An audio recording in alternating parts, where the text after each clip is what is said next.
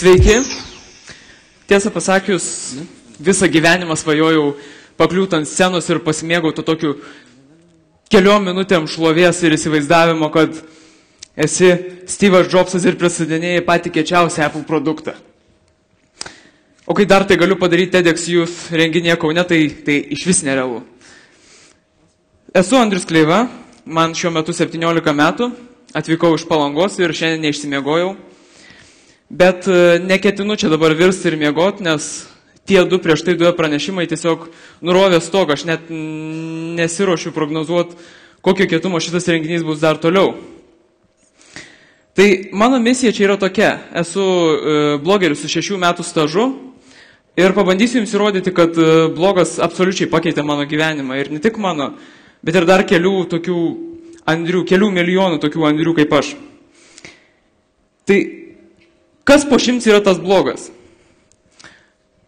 Blogas, kai, kai 12 metų būdamas pradėjau blogint, tai mano giminės truputį išsigando. Tai kas čia dabar per sektą, kas čia, kodėl tu blogas, kas tas blogas. Žodžiu, visiems reikėjo laiko, kad, kad apsiprastų su tuo, ką aš veikiu ir, ir koks tas mano yra naujas pomėgis. Tai jums dabar, aišku, irgi neaišku. Tai gerai, jeigu aš nesu blogas, tai tada kas tas blogas? Tai blogas yra tokia erdvė, su kuria e, gali elgtis kaip, kaip tinkamas. E, jeigu tik nori, gali rašyti e, apie tai, kokį nekokį sumuštinį šį rytą suvalgiai.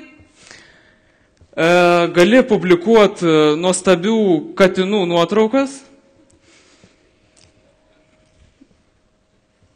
Ir taip pat galima šiek tiek ir paverkti blogį, jeigu tik norisi. Bet tas minčių dalinimas jis nėra vienintelė blogų funkcija. Blogai gali dar. E, blogai gali, gali uždirbti. E, jūs matote vieną populiariausių e, visame pasaulyje e, technologijų tinklaraščių The Verge, kuris turi net 84 darbuotojus ir kiekvienas iš jų gauna pakankamus atlyginimus. Tai šia, šį, šitą finansišką pasako, žinoma. E, blogai gali dar ir valdžią prie žmonių priartinti. Tai yra The White House blog. Um, tai yra JAV prezidentūros blogas, kuriame uh, rašo Obamos administracija. Uh, žinoma, ir Obama pats kokį žodelį retkarčiai sumeta.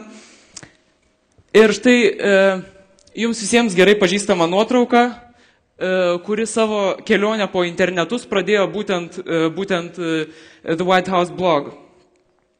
Ir šita nuotrauka ypatingai padėjo Obamai e, išlikti antroji kadencijoje. Pa, paskutiniam dienom jį iškėlė į populiarumo viršūnės.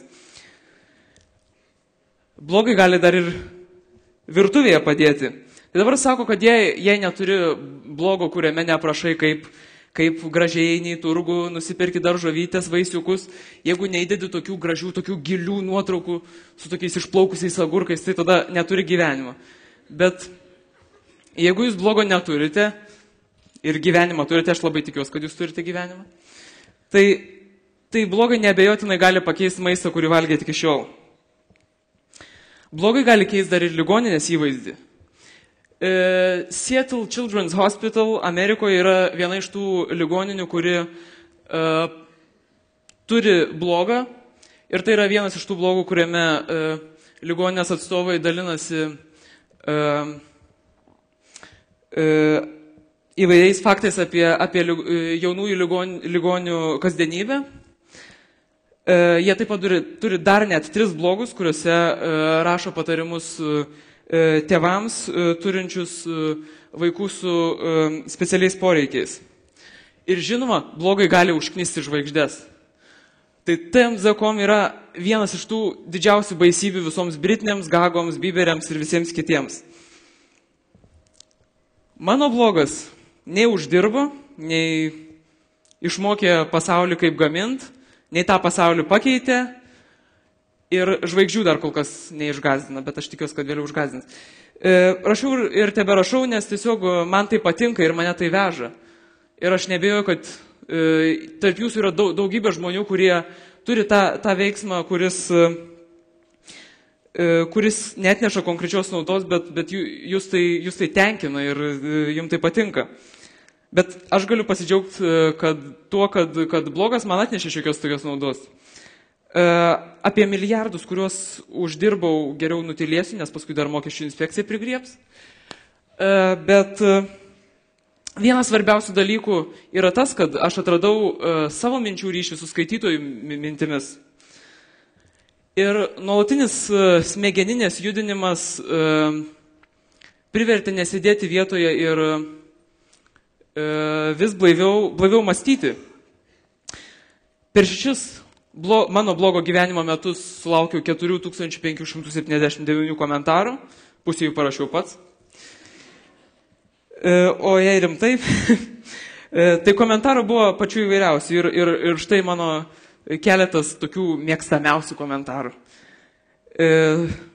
Viena skaitytoja Indrė štai tokį atvirą komentarą parašė. Labai gerai, kai žmonės savikritiški.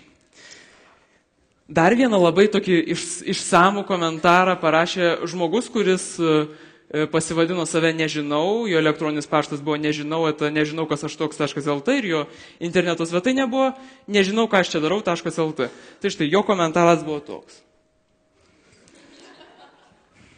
Esama ir labai nuoširdžių žmonių komentarų. Štai, pavyzdžiui, skaitytoja Gina labai taisyklinga lietuvių kalba, padėkojo.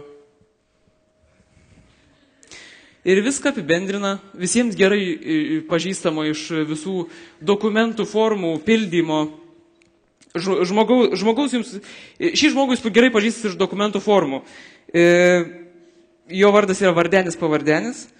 Ir jo komentaras yra toks, apibendrina viską, viską, apskritai mano blogą štai. Bet po kiek laiko jau džiaugiuosi iš tiesų ne, ne tik tokiais komentarais, bet ir tuo, kad, kad mano įrašai, e, mano straipsniai, kuriuos aš rašau, pasidarė kažkiek tai reikšmingi ir kaž, turi, turėjo kažkokią vertę internete. Ilgainiui ėmė atsirasti žmonių, kurie e, ieškodami tam tikros informacijos e, atrasdavo būtent mano blogą. Ir kadangi daugiausia rašau apie, apie internetą, apie technologijas, apie visuomenės reiškinius, keliones, tai jie dažniausiai tą, ir surasdavo, rasdavo, ko norėdavo. E, bet, bet būdavo tokių lankytojų, kurie įvesdavo į Google paiešką tokius šiek tiek kitokius dalykus ir rasdavo mano blogą pagal tai. Tai štai mano blogą žmonės atrasdavo ir Google paieškoje įvedę štai tokius dalykus.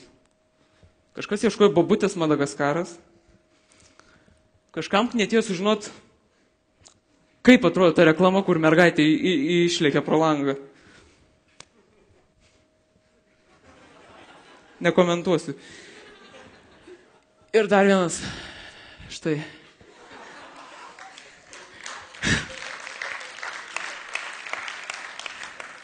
Vat kur šitas yra, tai ir man būtų visai įdomus, žinot.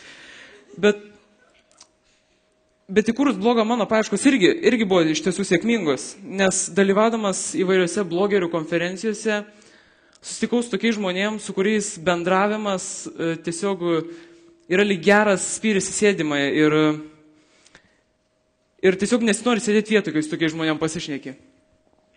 Čia sėdžiu, sėdžiu patenkins ne, ne vien dėl to, kad E, kavą galiu gerti su tokiais įkvepiančiais žmonėmis, bet ir, ir, ir dėl to, kad pagaliau baigės visi e, mano organizuotos Lietuvos tinklaraštininkų konferencijos darbai, tai čia jau po visko. After party. Rašydamas blogą padariau ir dar vieną atradimą.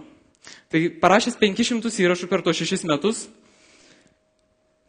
pastebėjau, kad mane pradėjo mėgti lietuvių kalbos mokytojai. Tai dabar po, po tų 500 įrašų kabliuoju sakinius idealiai, e, rašybos klaidų irgi absoliučiai nėra, žodžiu, varau vienais dešimtukais. Nerealiai. Nutiko ir dar vienas dalykas. Tai mano kambarys kartais ėmė atrodyti štai šitaip. Tik vis dar būdavo užkrautas įvairių kompiuterių, spausdintuvų, knygų dėžėm. Ir visus tuos, tuos daiktus aš gaudavau tam, kad aš juos aprašyčiau savo tinklaraštį ir pasidalinčiau mintimis su skaitytojais. Ir be blogo aš tokios patirties savo, savo apie tokią patirtį aš savo neleisčiau pagalvoti iš tiesų. Ir dar vienas dalykas, pradėjus, pradėjus bloginti, kardinaliai pasikeitė e, mano ir mano draugų santykiai. Jei iki tol jie žinodavo apie mane beveik viską, tai dabar jie žino viską. Tai vieną kartą jie man sako, klausyk, man atrodo, kad ten susimovai tu apie tą ten knygą parašydamas vakar, ne, nežinau, ar dabar čia su taim šnekėt. Kitą kartą sako, dabar paduodi man tą telefoną, kurį vakar aprašiai ir parodai, kaip jis ten veikia.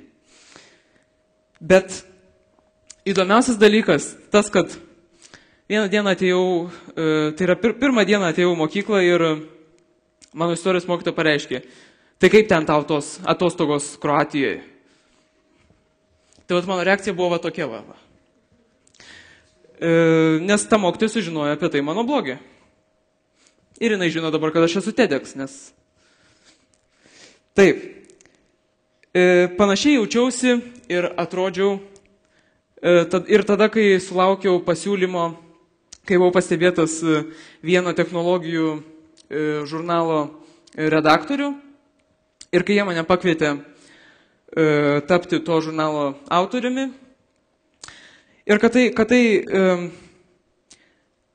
realu supratau tik tada, kai gavau pirmą autorinį atlyginimą. Ir tada man tapo aišku, kad ir tokį mažvaikį gali kažkur pakviesti.